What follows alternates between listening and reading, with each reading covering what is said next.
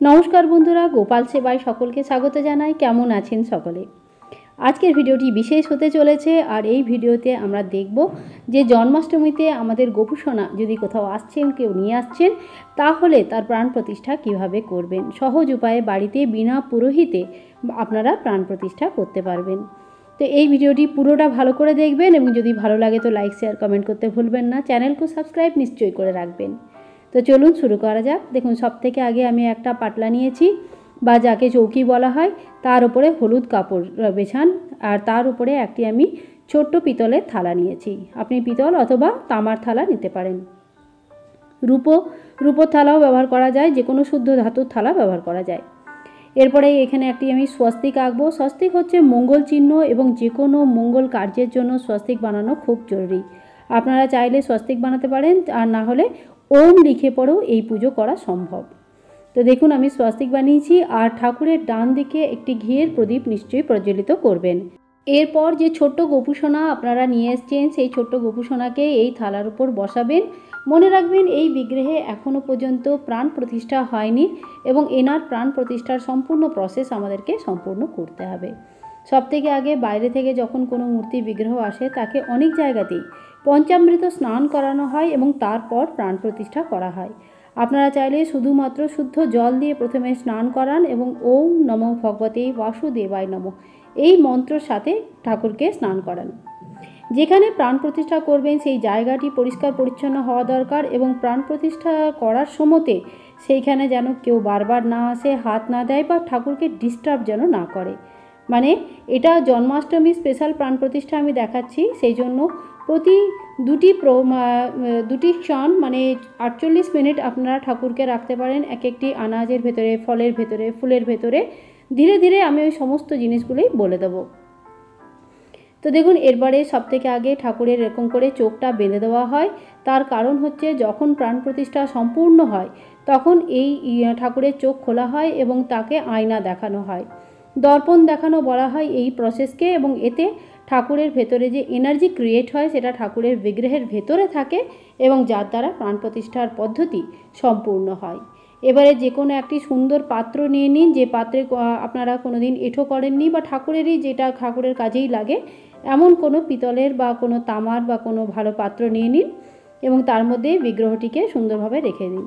পাত্রের সাইজ এমন হওয়া দরকার যেন বিগ্রহ পুরোপুরি পাত্রের মধ্যে ঢাকা হয়ে যায়।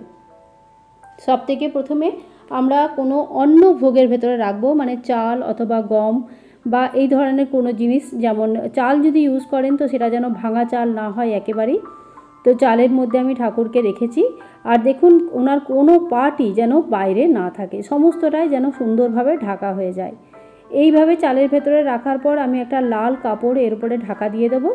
আর এইভাবে আপনাদেরকে যদি জন্মাষ্টমীর দিন করেন, তাহলে এক ঘণ্টা অথবা আটচল্লিশ মিনিট পর্যন্ত রাখুন। আর যদি অন্য দিন করতে চান, তাহলে পুরো এক দিন এই অবস্থায় থাকবে। কেবলমাত্র জন্মাষ্টমীর দিনেই একদিনে সমস্ত প্রসেস করে তার প্রাণ প্রতিষ্ঠা করা সম্ভব। বাকি দিন তিন থেকে চার দিন সময় লাগে। আটচল্লিশ মিনিট অথবা এক ঘণ্টা নিজেরা ক্যালকুলেট করে নেবেন যে কটায় কটায় সময় ঠাকুরকে আবার ওখান থেকে বের করে অন্য এক কিছুর মধ্যে রাখতে হবে। তো সেই জিনিসটা নিজেরা ক্যালকুলেট করে সুন্দর করে করবেন, টাইমটা একদম যেন ফিক্স থাকে। তো দেখুন, এবারে ঠাকুরকে আমি এখান থেকে বের করে এখানে রাখলাম।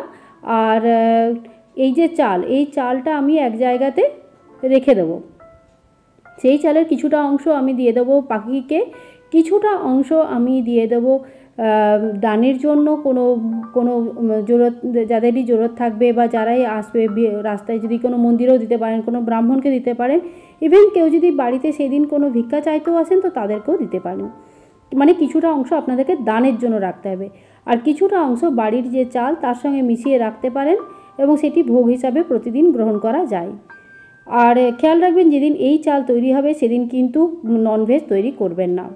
এরপরে দ্বিতীয়বার আমি ফলের মধ্যে রেখেছি। দেখুন, একই পদ্ধতিতে পুরো ফল দিয়ে ঠাকুরকে ঢাকা দিয়ে এক ঘণ্টার জন্য আমি এইভাবে রেখে দেবো। লাল কাপড় ঢেকে পড়ে এবং যখন এক ঘণ্টা সময় পূর্ণ হয়ে যাবে, তখন ধীরে ধীরে এই লাল কাপড়কে আবার হাঁটিয়ে সেই ফলগুলিকেও আমি একটা একটা করে হাঁটিয়ে নেব। ফলগুলি ভোগস্বরূপ প্রসাদস্বরূপ সবার মধ্যে দিয়ে দিন। সবাইকে দিতে পারেন, বাড়িতে নিজে গ্রহণ করতে পারেন, কাউকে দান দিতে পারেন। গোমাতাকে একটি ফল এখান থেকে নিশ্চয়ই দেবেন। গোমাতাকে ফল দেওয়া অত্যন্ত ভালো এবং শুভ বলে মনে করা হয়। তো দেখুন আমাদের গোপালকে প্রথমে আমরা চালের ভেতরে রেখেছি, তারপর আমরা ফলের ভেতরে রেখেছি। আর এইভাবে ফল যখন কমপ্লিট হয়ে যায়, ফল রাখার পর আমরা ঠাকুরকে ফুলের মধ্যে রাখি। তো চেষ্টা করবেন কেন? একদম নিয়ম হচ্ছে যে অরিজিনাল ফুল নিয়ে আসবেন। যদি বাড়িতে থাকে বা কোথা থেকে আনতে হয়, তো সেই দিনের জন্য যেমন করেই হোক অরিজিনাল ফুল, হলুদ ফুল, সুগন্ধি ফুল পেলে সবথেকে ভালো ফুলের মধ্যে ঠাকুরকে আরও এক ঘণ্টার জন্য রেখে দিন। আমি এখানে আর্টিফিশিয়াল ফ্লাওয়ার ইউজ করেছি, তার কারণ আমি এখানে হলুদ ফুল পাইনি।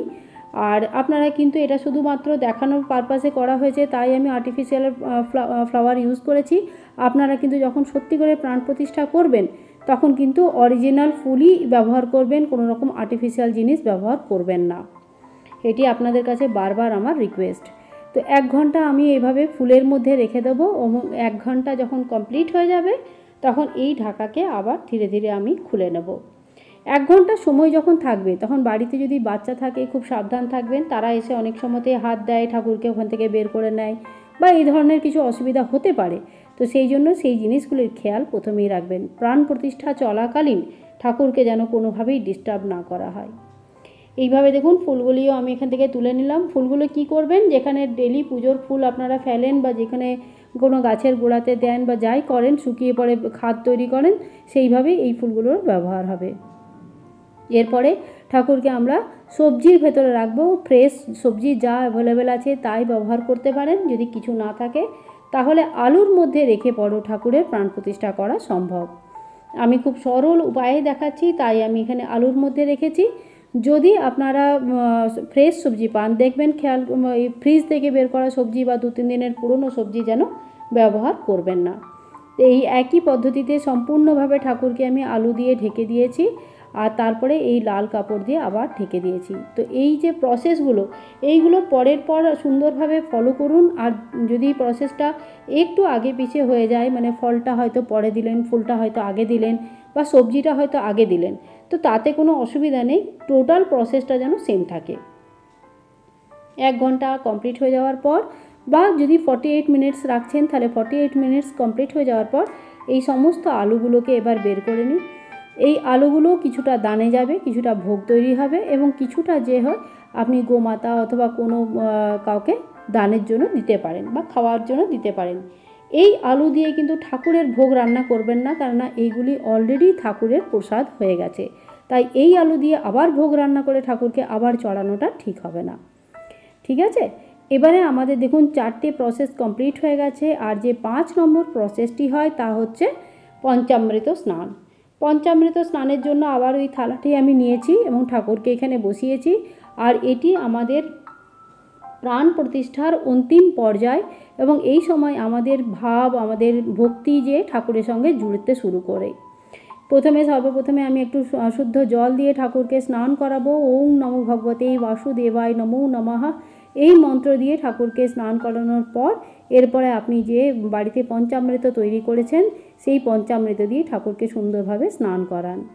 পঞ্চামৃততে দুধ, দই, ঘি, মধু আর চিনির গুঁড়ি। চিনিটাকে আগেই যদি ভিজিয়ে দেন তাহলে মিক্স হয়ে যাবে, না ভেজালে গুঁড়ি করে মেশাবেন এবং কিছুক্ষণ আগেই তৈরি করে রাখবেন। একদম ফ্রিজ থেকে বেরিয়ে ঠান্ডা ঠান্ডা জলে চান করাবেন না, কারণ এখন ঠাকুরের প্রাণ প্রতিষ্ঠা হয়ে যাওয়াতে আমাদের একটা ভাব ঠাকুরের সঙ্গে জুড়ে গেছে।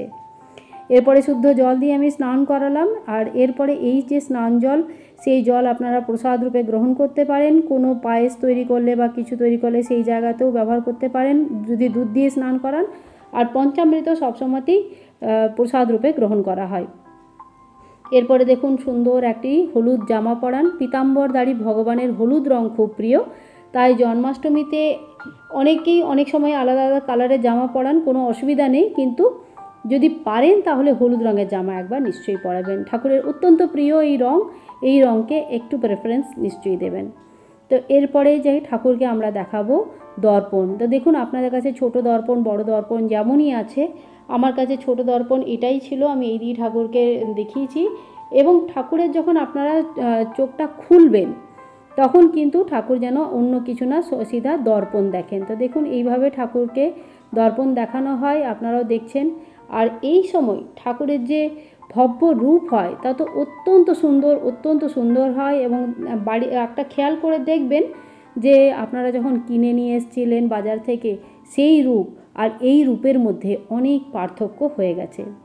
এরপরে সুন্দর ফুল দিয়ে সাজান, ইত্র দিয়ে স্নান করান, ইত্র দিয়ে সাজান।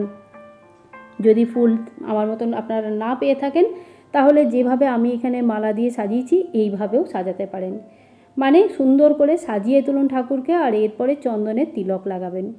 চন্দনের তিলক ঠাকুরের খুবই প্রিয়। তো ছোট্ট গোপুসোনাকে আপনারা চন্দনের তিলক ডেলি লাগাতে পারেন। তবে একটি কথা বলে রাখি, চন্দন যদি ডেলি লাগান, তাহলে রাতে শোবার সময় নিশ্চয়ই পরিষ্কার করে শোয়াবেন। না হলে কপালে কালো দাগ হয়ে যাওয়ার চান্স থাকে। ডিপেন্ড করছে পিতলের ওপর, খুব হাই কোয়ালিটি পিতল হলে হয় না। কিন্তু আমরা কেনার সময় আমরা অনেকেই নতুন বুঝতে পারি না এবং কেমন কোয়ালিটির পিতল আমরা নিচ্ছি বুঝতে পারি না সব সময়তে তাই তখন দাগ হয়ে গেলে আমাদের নিজেদেরই খুব খারাপ লাগে। গোপুসোনার কষ্ট হচ্ছে, এরকম ভেবে মনটা বড় খারাপ হয়ে যায়। তো এরপরে দেখুন গোপুসোনার জন্য যে শৃঙ্গার আপনাদের নেবেন, তো সেগুলি আগে থেকেই ব্যবস্থা করে রাখুন। ড্রেস, সিঙ্গার, একটা পাগড়ি, মাথার চুল বা যা যা আপনারা সাজাতে চান। সেই সমস্ত শৃঙ্গারগুলো আপনারা নিয়ে রাখুন।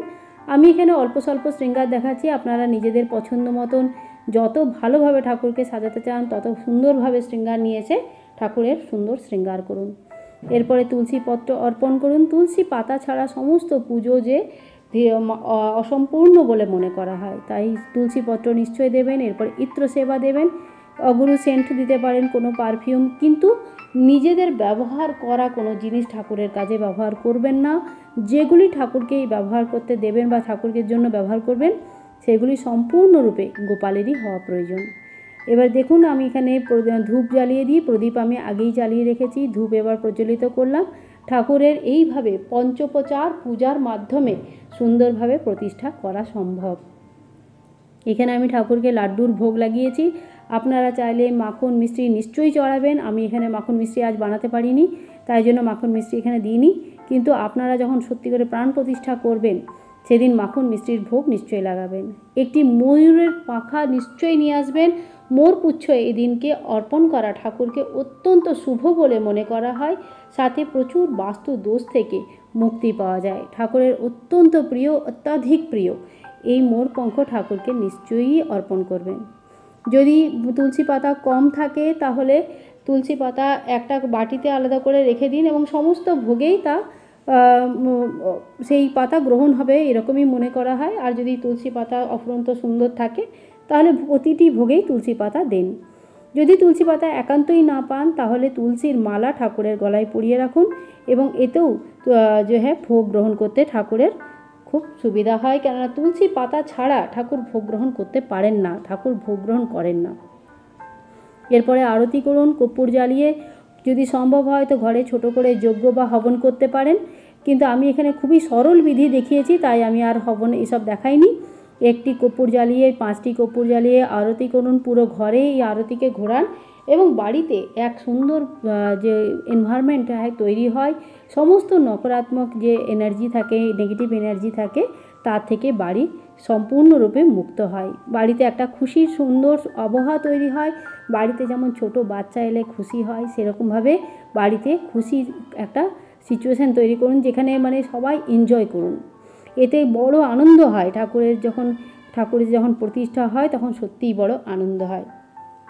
এই দিনকে ওম নমো ভগবতে বাসুদেবায় নমো। এই মন্ত্রের আপনারা কমসে কম একশো আট বার জপ করুন। আর পুরো বছরে ঠাকুরের কীভাবে সেবা করবেন, সেই সেবার সংকল্প এখনই নিয়ে নিন। যেমন ঠাকুরকে সঙ্গে নিয়ে যাবেন, কোথাও যখন যাবেন, অথবা বাড়িতেই রেখে যাবেন, কতবার ভোগ লাগাবেন, অন্য ভোগ লাগাবেন কি না লাগাবেন, ইত্যাদি সমস্ত কিছু সংকল্প এদিনকে নিয়ে নিন। একটি ঠাকুরকে নাম দিন, যে নামে আপনি ওনাকে ডাকবেন, আর সাথে একটি সুন্দর তার সম্পর্ক তৈরি করে নিন। যেমন কেউ ভাই বানায়, কেউ পুত্র বানায়, কেউ পতি বানায়, কেউ সখা বানায় কেউ প্রেমী বানায়। যেমনটি আপনাদের যে চোখে ঠাকুরকে ভক্তি করবেন, সেই সেই সুন্দর একটি সম্পর্ক ঠাকুরের সঙ্গে নিশ্চয়ই বানিয়ে নিন। সারাদিন হরে কৃষ্ণ, হরে রাম জপ করবেন মনে মনে, ঘরে হিংসা, বিদ্বেষ, ঝগড়া, ঝাঁটি যেন না হয় এবং কারোর প্রতি ছোট মন করবেন না। যতটুকু ব্যবস্থা করতে পারবেন, সেই মধ্যে, সেই মধ্যেই খুশি হয়ে, সুখী হয়ে ঠাকুরের প্রতিষ্ঠা করুন।